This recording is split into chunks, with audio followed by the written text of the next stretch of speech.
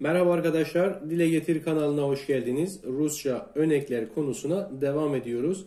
Bugün V örnekini konu alıyoruz. Arkadaşlar V örneki içeriye doğru hareket, yukarıya doğru hareket, dikkatle, yoğunlaşarak, derinlemesine hareket gibi 3 madde ile dile getirilebilir. Birincisi ve en çok kullanılan madde olan içeriye doğru hareket maddesi üzerinde duracağız.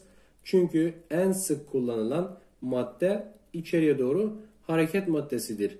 Diğer iki maddeyi de önümüzdeki derslerde elbette ki dile getireceğiz. Arkadaşlar burada özne ve nesnenin hareketi kapalı bir alanın içine doğrudur.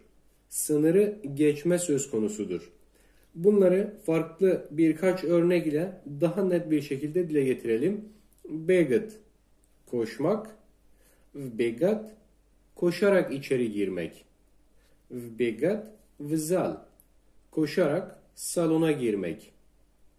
Litat uçmak. Vlitat uçarak içeri girmek.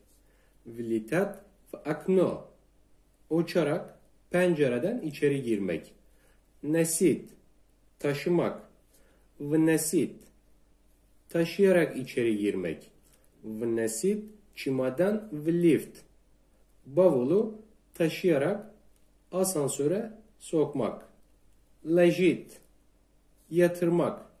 Vlejit içine yatırmak. Vlejit açki v futlyar. Gözlüğü kılıfa koymak. Burada da içeriye doğru hareket söz konusudur. Çünkü gözlüğün kılıfın içine yerleştirme vardır. Evet arkadaşlar V öneki de bu şekildeydi. Başka bir videoda başka bir öneki dile getirmek üzere her şey gönlünüzce olsun. Hoşçakalın.